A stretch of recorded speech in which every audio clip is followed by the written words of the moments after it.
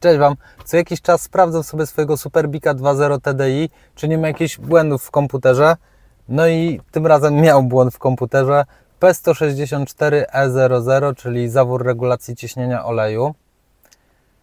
Ciśnienia oleju się trochę boję, bo miałem już kiedyś taki przypadek w jednym samochodzie, chyba to była Kia Sportage, że przez to ciśnienie oleju powoli zacierała się pompa oleju w ogóle i, i, i przez ten brak ciśnienia oleju ten samochód się zatarł. Niestety przy przebiegu niewiele ponad 100 tysięcy kilometrów, a to był silnik 1.6 GDI. E, także ciśnienia oleju się troszeczkę boję, dlatego postanowiłem wymienić ten, ten zawór, ten regulator, ten czujnik, różnie na to mówią. Niestety nie występuje on w zamienniku, musimy sobie go kupić w ASO, kosztuje 550 zł, więc bardzo dużo.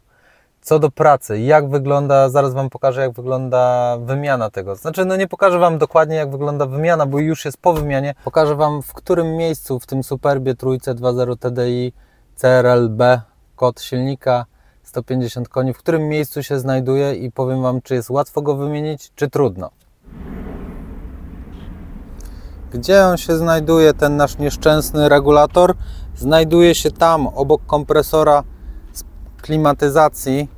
Teraz można go wyciągnąć, odkręcić, podnosząc po prostu samochód, ale jest to dosyć trudne.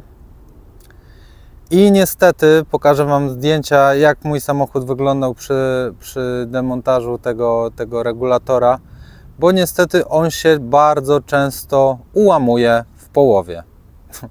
No niestety. I powiem Wam, że cały ten przód musiał być zdjęty. No wszystko łącznie z, tam z błotnikami, żeby dostać się do tego, żeby potem nawiercić e, część tego regulatora śrubą i żeby go wydostać. Kupa roboty. Zaraz Wam pokażę ten regulator, jak wygląda już po wyciągnięciu. Mam go w samochodzie.